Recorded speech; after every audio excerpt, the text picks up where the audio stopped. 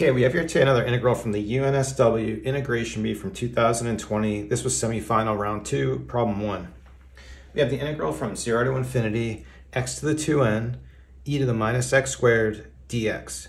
And just note for this n value, we have this condition over here that n is going to be a positive integer.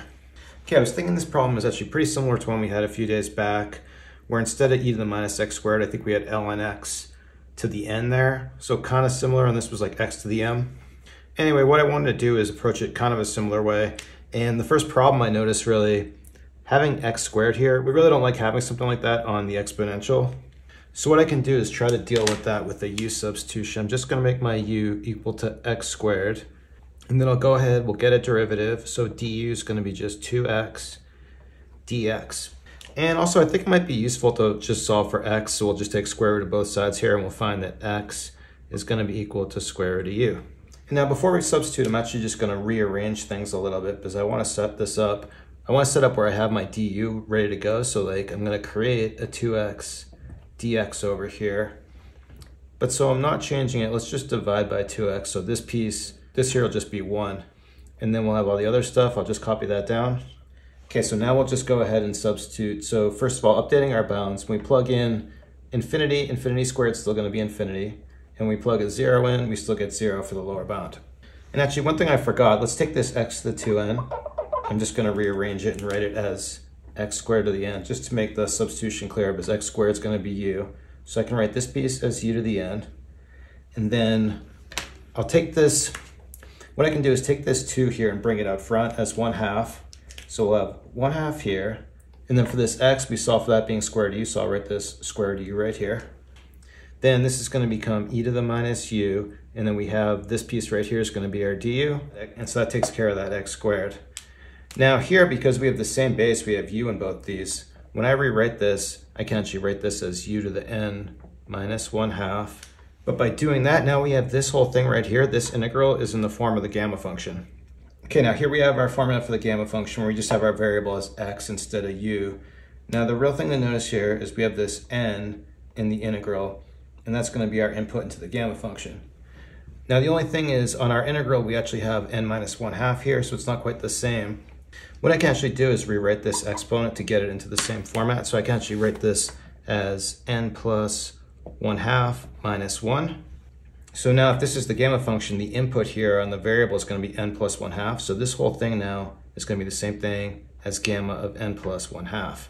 So putting this all together, what we're going to have is we're going to have gamma of n plus 1 half all over this 1 half or over 2. And then we could just use this as the formula for this integral, but what I'd like to do is let's see if we can get a simple, let's see if we can simplify this gamma of n plus 1 half a little bit. And so what I usually find useful in a case like this is to express the gamma function in terms of a factorial. Even though the factorial is usually for integers, we can still use it here to simplify our answer. Just notice again, remember our n value is going to be a positive integer.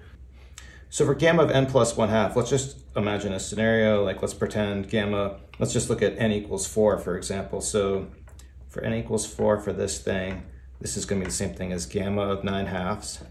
But using this definition, we could also write this as 7 halves factorial. And then we could just expand this out, decreasing each term by 1. So we go 7 halves times 5 halves times 3 halves times 1 half. And then for this last piece, I'll write it as minus 1 half factorial. Now for this value minus a half factorial, what I like to do usually just memorize this one because it comes in handy so often. So the value for this is going to be actually the square root of pi. So then by just memorizing this piece, all we need to do is calculate this right here. But you can kind of see we have this pattern where we're just decreasing by 2 here. So what we can do actually with this numerator is write this in terms of a double factorial.